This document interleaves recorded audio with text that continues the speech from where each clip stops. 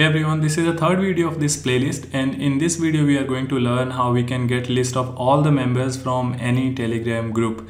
So I have been getting this request from uh, several people. What they wanted to do is uh, they wanted to uh, scrape all the members from any number of groups from telegram and then later on they wanted to add all of these members to their own group.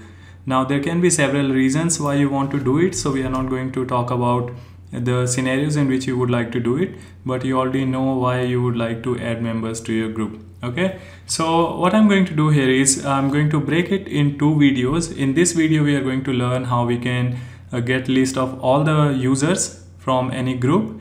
And then in the next video i'm going to show you how you can add all of those users in any of the group which you want now, uh, there is a disclaimer which I would like to say that you should not really be doing it. And if you do it, again, there is some limitation that with one user account, you will only be able to add around 200 members in a group.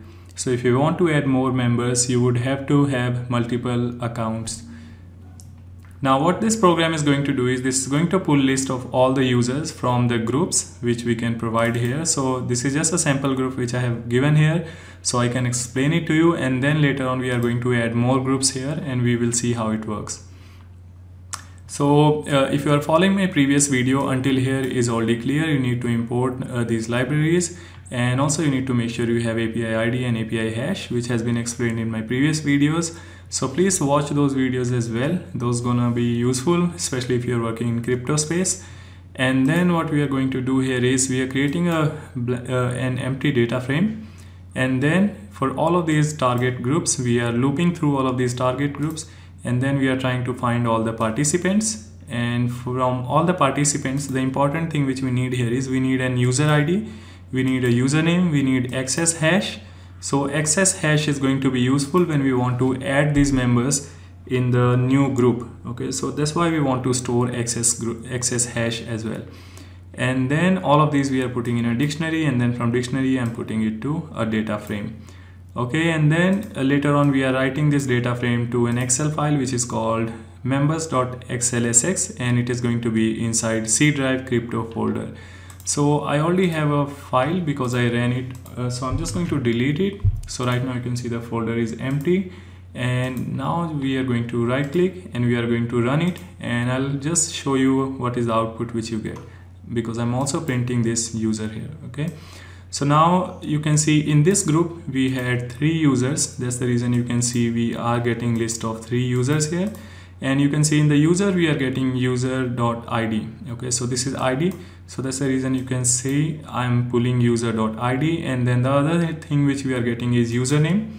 So if you just scroll towards right you should be able to see the username. Okay so here you can see we have first name we have last name we have username. So we are interested in username so you can get the username.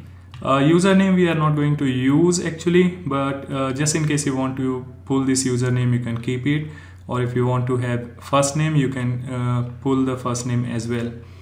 And then if you're interested in their phone numbers or whatever any other information you can get those information as well. And here I think uh, that's all we have here guys.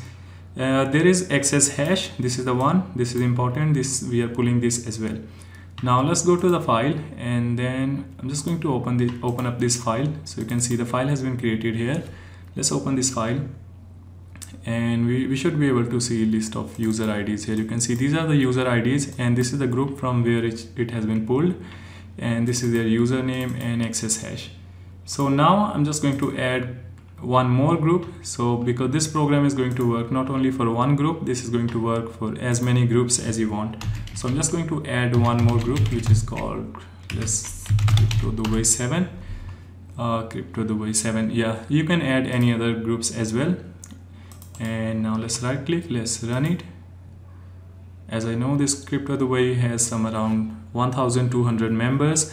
So it's going to take a little bit time in order to scrape all these. You can see all of these users uh, users lists are being pulled and then it's going to be kept in this file so let's wait for a few seconds because uh, remember guys the larger the group you have the more time it is going to take because it has it has to process uh, for all of these user accounts. I think it's almost finished. Yeah it's finished. We can go here. We can now you can see the file size is larger. It is now 76 kilobyte. So let's see uh, what do we have in this file so here you can see now we have username we have group name and we have username again we have access hash.